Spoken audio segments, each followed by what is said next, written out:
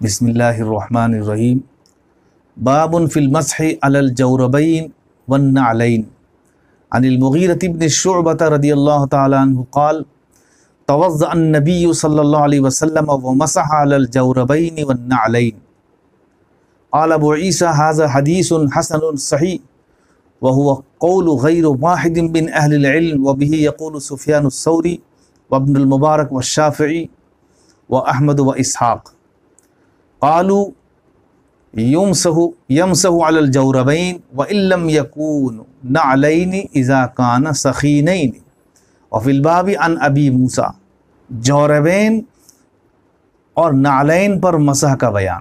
جوربین پائتابہ اور نعلین جوتے کو کہتے ہیں چپل، ہوائی چپل، نعل، یہ چپل یعنی ہوائی چپل اور جورب جو ہے چمڑے کے علاوہ کا موزہ۔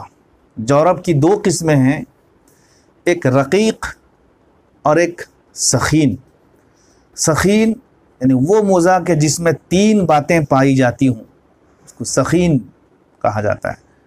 پہلی بات یہ کہ اتنا موٹا ہو کہ پانی اس کے اندر جذب نہ کرے، پانی اس کے اندر نہ جا سکے۔ دوسری بات یہ ہے کہ پنڈلی پر بغیر باندھے بغیر باندھے وہ اٹکا رہے۔ اور تیسری بات یہ ہے کہ اس کو پہن کر ایک میل کم سے کم دو پونے دو کلومیٹر کا ہوتا ہے، مسافت طے کرنا ممکن ہو بآسانی یہ تین باتیں جس کے اندر پائی جاتی ہوں کہ وہ سخین، اس کے اندر وہ سخین ہے وہ سخین مزہ ہے۔ اگر ان میں سے کوئی شرط مفقود ہو تو وہ رقیق ہے۔ پھر ہر ایک کی ان میں تین قسمیں ہیں یعنی رقیق کی بھی اور سخین کی بھی۔ پہلی قسم مجلد۔ یعنی اوپر چمڑا چڑھا لیا گیا ہے۔ دوسری قسم منعل صرف نیچے چمڑا چڑھایا گیا ہے اور تیسری قسم سادہ یعنی اس میں کہیں بھی چمڑا چڑھا ہوا نہیں ہے۔ اگر مجلد ہے تو بالاجماع اس پر مسا جائز ہے، اس میں کسی کا اختلاف نہیں ہے۔ منعل پر بھی بالاجماع مسا جائز ہے، اس میں بھی کسی امام کا اختلاف نہیں ہے۔ سادہ اگر رقیق ہے تو بالاجماع مسا جائز نہیں ہے، اس میں بھی کسی کا اختلاف نہیں ہے۔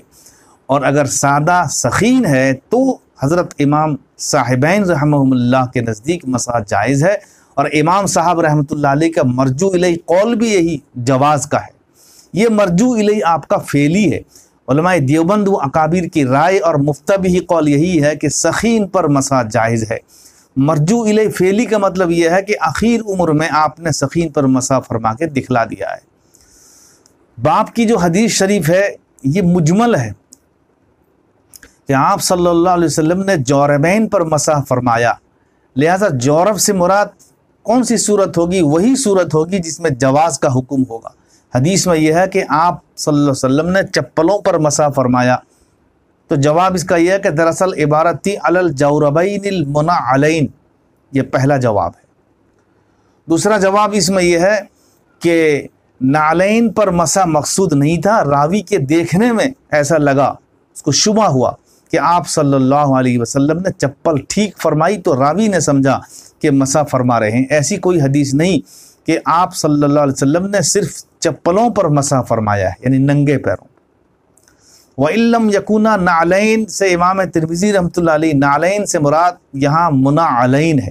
لہٰذا اصل عبارت یوں ہوگی کہ وہ علم یقونہ منا علین واللہ عالم و علم اتم و احکم آپ دیکھ رہے ہیں یم اے آر بی دینی معلومات یوٹیوب چینل۔ چینل کو سبسکرائب کریں، ویڈیو کو لائک اور شیئر کریں۔ فیس بک ٹویٹر انسٹاگرام اور ٹیلی گرام پر آپ ہمیں فالو کر سکتے ہیں۔ ہماری ویڈیوز آپ اپنے چینل پر ڈال سکتے ہیں۔ ہماری طرف سے اجازت ہے۔ ہمارے ساتھ واٹس اپ پر جڑنے کے لیے آپ اپنے واٹس اپ سے اپنا نام اور فل ایڈریس کے ساتھ ایڈ لکھ کر ہمارے WhatsApp number eight nine zero eight nine three nine three four three کو میسج کریں۔ اور ہمارا کام پسند آئے تو گوگل پے، فون پے یا بینک اکاؤنٹ کے ذریعے ذریعہ مدد کر سکتے ہیں۔